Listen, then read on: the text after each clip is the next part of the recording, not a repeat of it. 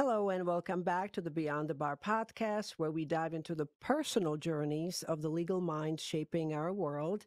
I'm your host, Denisa Tova, and today I'm very excited to welcome Robert Stephan Cohen, renowned matrimonial attorney. He's a co founding partner of Cohen, Clair, Lans, Greifer, and Simpson in Manhattan. And Robert, he wears so many hats. He's not only a published author, a sought after lecturer, but he's a trailblazer with a story that captivates and inspires. And his journey, marked by humble beginnings and military service, has led his esteemed status in the legal community. And I truly mean this. His story is a testament of resilience, intelligence, I would say unwavering commitment. Good afternoon.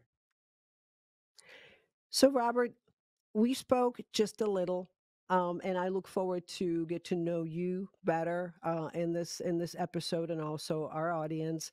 Can you share your journey about your truly humble beginnings to becoming legendary attorney, and what were some pivotal moments uh, that shaped this path? So, um, yesterday I was teaching at the University of Pennsylvania Law School, where I've taught for the last 20 years. Um, I've had uh, two sons who went to school there, which is the reason I, I taught there. I, I could have dinner with them. And um, at yesterday's lecture, I had Tracy Morgan come down with me. One lecture every term, I bring a celebrity client, and um, and so Tracy, I asked Tracy, who was a former client of mine, I asked him to come down, and he was very funny, but um, he was asked a similar question to what you just asked me by me, which is talk about your humble beginnings. And I came to learn yesterday that I never knew that Tracy lived right across the street from the high school that I went to. He grew up and he, he grew up in the projects, and my high school was in the project. The, mo- the most important moment in my life, now to come back to your question, the most important um, um, part of my life was I graduated from high school. My senior year, I was 15 years old, and my mother died in September of that year. And um, my sister was brought up by relatives, and I had to get through a year by myself, um, get through high school and figure out where I was going to go to college. And what I knew was I grew up on the border of Coney Island. Um, with, among other people, Tracy Morgan being my neighbor, which I never really knew. I'm older than Tracy, so I, we weren't actually neighbors. And there it became what was I going to do my senior year? Where was I going to go to college? How was I going to support myself? How was I going to pay for college um, and room and board and so on? And so I made a plan for myself. And the plan for myself was to get out of New York, to go to a, a liberal arts school, and to meet people that were different than I did. Remember, growing up where I grew up, everybody was like me. We were all poor. Um, I was particularly poor because we didn't have a working kitchen. Um, and so we had to worry about how we were going to eat. But most people were like me. And I wanted to meet people other than myself. And I wanted to grow up being much different than the way I grew up. And so I think in, in a lot of ways, my mother's very early death she was 37 years old when she passed away. A very, my sister being brought up by relatives and my having to find my way on my own pretty much. We didn't have a college advisor at my high school. And I would, would have been the first college uh, graduate in my family, and probably the first high school graduate, actually. Um, um, in my, as I was in my senior year, I hadn't graduated high school. So I was facing these two big hurdles uh, graduating from high school and graduating from college, all at the age of 15. I think that was sort of um, uh, uh, the demarcation of my change in life. That is a that is an incredible story. To have that foresight at age 14, 15, um, having gone through such a tragic loss, Robert, that's uh, that's just astounding. So, where did you go from there after you graduated college? So I had I had a couple of burdens. First of all, I had to take the Regents examinations um, that New York State gave in order to graduate from high school. Um, I was saddled um, with the issue of uh, worrying about my father and my sister, um, and I had to I had to make my way through my senior year, and that was a huge hurdle. I remember having dreams, recurring dreams that I failed the Regents exam. Um, I had to take a French Regents exam and some math Regent exam, which I don't remember. And I remember having these horrible dreams, Denisa, in which uh, I, I, was uh, I, I, would wake up in, in, a in a sweat, thinking that I was not going to get through my senior year. Remember, I had accelerated through um, through school, having been able to graduate when I was 15, but I was still I, I was so scared and nervous about not getting through, and I got through. I had no idea where to go to college. I had no money. Um, I um, had no real help. And I decided I had to get away, someplace rural, and uh, and someplace where there were going to be kids from different places other than the neighborhood that I grew up in. And I chose a small liberal arts school um, at the western edge of New York State, um, and called Alfred University. Most of your um, um, listeners probably will not have even heard of it. It was a small liberal arts school, but I made friends. I I made friends with kids who lived in houses and who had working kitchens, and uh, we didn't have to worry about the things I had to worry about. And I visited with them, and I stayed with some of them over the over a holiday. I was embarrassed about my own apartment, so nobody could visit me. Um, but I learned a whole other way of living that I had never known growing up literally in the bowels of Brooklyn. And um, it was a big change in my life. And from somebody who was supposed to be a dentist, my high school yearbook has me as a dentist. It would have been a disaster. Me and my hands don't work together. I could have never, never made it through. But as a kid, then, and we're talking about in the uh, 19 60s now. Um, as a kid in Brooklyn, that's that was a way of being a do- doctor or a dentist. And so that's what my family told me I should do, and that's what I thought I would do. Um, it took me uh, my till my junior year of college to walk away from being a dentist, disappointing my family tremendously because I was going to be mm. sort of a way out for them. And I decided after a constitutional law course that I took at undergraduate school that I wanted to be a lawyer, and that was my way out. There's so much packed in there. Wow. I'm gonna I'm gonna go back to the very beginning, my introduction. Your middle name is unusual. We spoke about it earlier. Stephan, where does it come from? Well, since when I was born, I was too young to name myself. Um, it came from my parents, I, I, I, I, I guess.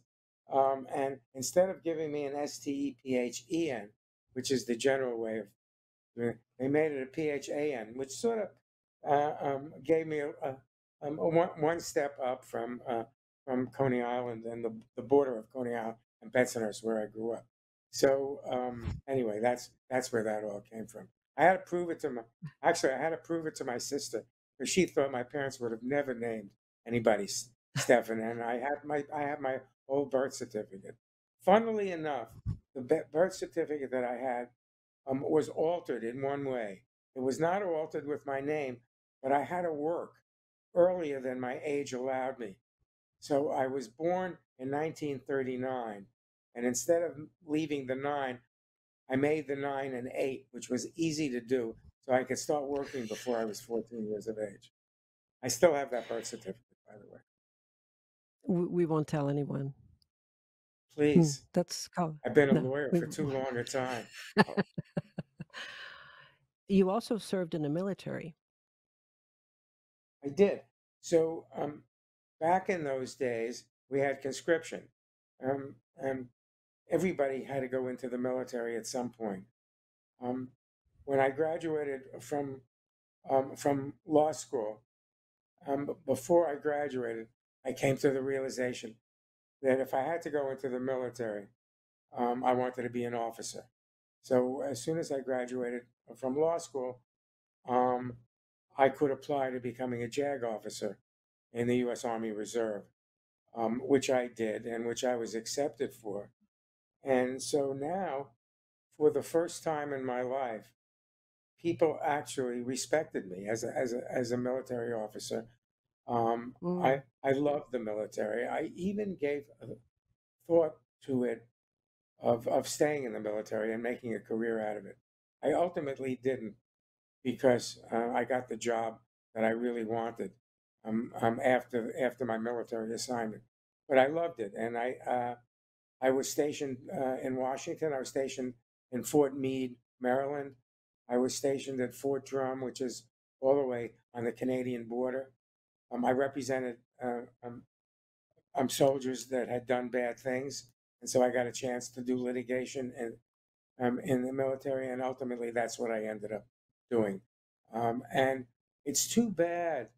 Um, I feel really badly that none of my kids um, went um, to a military academy, and I would have been very supportive, and I even talked to them about going into a Mm. military academy. None of them wanted to, and none of the young people today uh, care much um, um, uh, about going into the military. And again, um, it was great for me, and I think it's important for our country, and it's important. We've got two wars going on now, um, in the Ukraine and and in in the in Gaza, and and and frankly, we're thinking about military again for the first time. We have to think about it. Maybe this will be an impetus for more American young people to go into the military, not because they have to, but because Yeah. they want to. Thank you for your service. Thank you. Um, y- that's that's near and dear to my heart, as you know. My my son served; he was on a U.S. submarine. Um, now, switching gears a little bit, you wrote an interesting book coming from a matrimonial attorney called "Reconcilable Differences: Seven Keys to Remaining Together." I'm just curious, what uh, motivated you to write this book? So there's a there's a short history about the book, um, which is important to tell you. So I had represented a woman um, by the name of Joni Evans, who was a very important um, uh, literary agent, and uh, and um, was in the book publishing business. And I did her divorce, which was a which I tried, um, went up to two appellate courts, and we were very successful. And so I decided I wanted to write a book. I couldn't write a book about the various celebrity people uh, that I had represented that you and all the podcast listeners would have heard of. Um, because I was an active practitioner and you can't mention people people's names and I didn't want to do that. So but I did I had some very interesting um, clients. I mean I represented uh, I- I- from time to time both of uh, the former President Trump's ex-wives um, and a whole other bunch of very important people.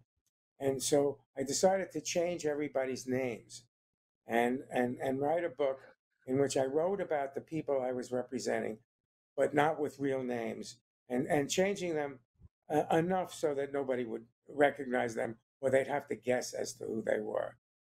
So instead of President Trump, um, um, I was writing about uh, somebody in the garment center business instead of in the real estate business, and like that.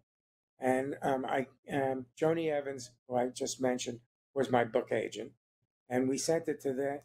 The book business was different then than it was now, in that it was, um, it was a big business. People bought hard-covered books, and they went to the beach and read them instead of putting plugs in their ears and listen and listening uh, uh, to the books on tape. And Yeah. um, I said we submitted to the seven, six or seven um, major publishers, and everybody loved it, but they wanted real names. They they, they Mm. wanted to be thinking they were reading page six of the Post, and they got real names about people. And of course, I couldn't do that. So I said to Joni, I've now spent all I wrote ninety pages of the book, um, and I said to Joni, what am I going to do? And she said, well, let's think of another book that you could write. And so I had, Mm. by that time, I was a matrimonial lawyer. Uh, early in my career, I was a commercial litigator. So I sort of morphed into being a, a, a divorce lawyer. And so she said, What kind of book would you write? like. And so I, I said, with 50% of the Americans getting divorced, and with that percentage being higher, particularly in Eastern Europe, um, um, where it was 60 or 70%, I said, let me give my hand at a, at a book about how to avoid people getting divorced. And she said to me, well, wouldn't it affect your business? I said, not really. I said, there are going to be enough people who need good divorce lawyers um, who are going to come to me. So I don't think it's going to it's going to affect me. But I think if I write a book that's good enough, I think maybe we could sell it because um, I began to develop a name in, in, in, divorce law. And so I said, let me get my hand at it. And so that's how it came about. Um, we wrote another 75 or 85 pages. Um, um, we sent the book out to the same seven or eight publishers, and they liked it. Um, and I mm. got a, for a first book, I got a really big advance. Um, and of course, I had to make the commitment to publicize the book.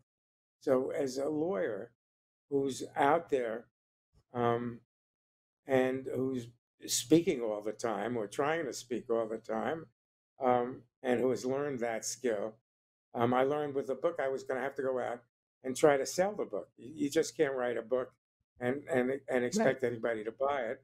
And so we went on a book tour. I went on two tours between New York and California, and um, and I did the South on another trip, and I loved it. It was it was kind of really fun to to do that. I did all of the major uh, um, TV stations and all the morning newspapers, and um, and the Times did a profile of me in the book, um, which was I never could have gotten at that point in my life had I not written a book. So it was probably good for my career in, a, in, in an odd way, because I was I was espousing the idea of not getting divorced. On the other hand, yeah. it ended up being good for my career because people got to know me that didn't know me, and I enjoyed I and I enjoyed the book. And and a funny aside to that is, I'm in my office now, and you're looking at me eh, sitting in my office. We're moving the week after next, and I wow. have a hundred books um, that I had written that for I don't remember how I ended up with them. My assistant said, "Why don't you give one to each member of your class?" that would get rid of the. I have 80, 80 uh, Penn students at my class. So she said, "No." I said, "I don't want to get rid of those. I want to leave those, be my legacy to my kids and my grandchildren." And um, so now I got to I got to figure out a place to keep a hundred of those books that I wrote that never got sold. I still get statements from Amazon um, about the book. So there are people out there that still get it and, and are kind of enjoying it. So that's the story of my book, Denisa. I love that story. I really do. And you're so so transparent, so authentic about it. Um, speaking of that, um, switching gears a little bit, what would you do if you couldn't practice law? So um,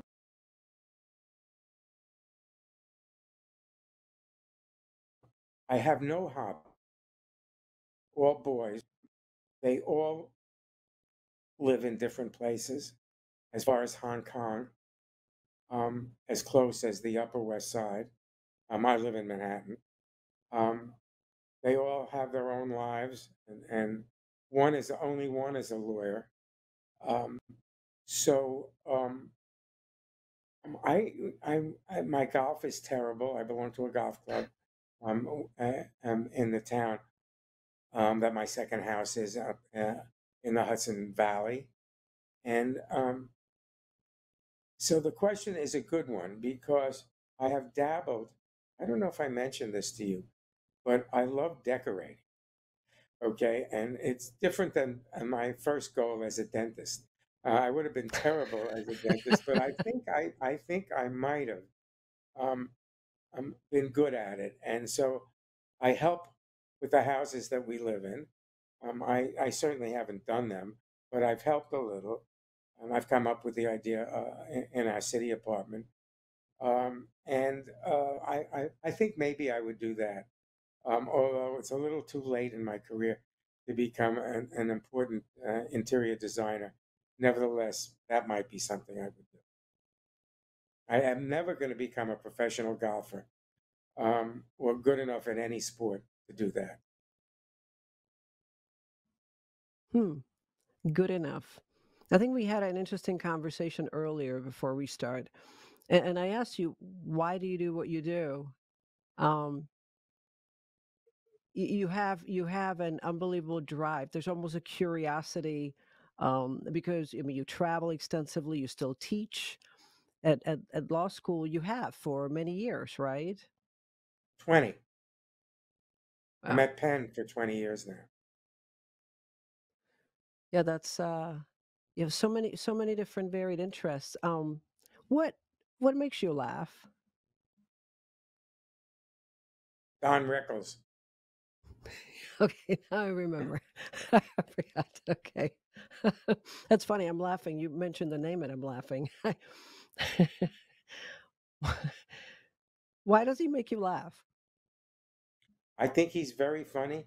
And I, I think a Borscht Belt comedy was sort of something I grew up in because when I Mm, was in undergraduate school, I worked in the Catskill Mountains as a busboy and as a waiter. So um, I sort of grew up a bit with that kind of humor, and it still it still makes me laugh. Um, I listened. I represented Chris Rock. I'm rep, I represented uh, Tracy Morgan. I'm trying to think of some other comedians that I've represented.